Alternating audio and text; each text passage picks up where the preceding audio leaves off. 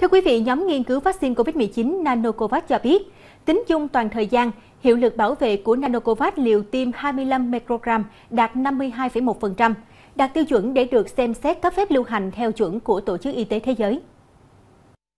Kết quả nghiên cứu thử nghiệm lâm sàng giai đoạn 2 và giai đoạn 3 cho thấy vaccine Nanocovax làm giảm số mắc COVID-19, giảm nguy cơ diễn tiến nặng và tử vong khi mắc COVID-19.